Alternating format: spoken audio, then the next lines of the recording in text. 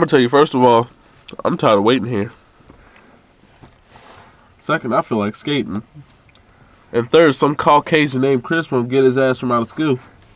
Niggas supposed to be all gangster shit. I'm gonna walk out the front door. I'm gonna walk out the front door. Where the fuck you at? Probably still sitting in class with your hands folded. Dickhead.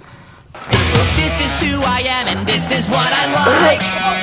JC Summon, Blink, and MXP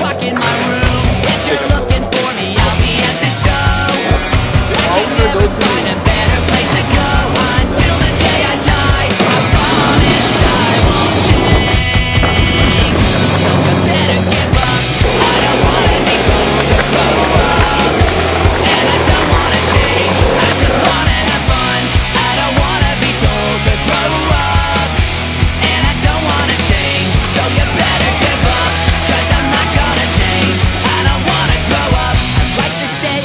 spend hours on the phone Hanging out with all my friends and never being at home.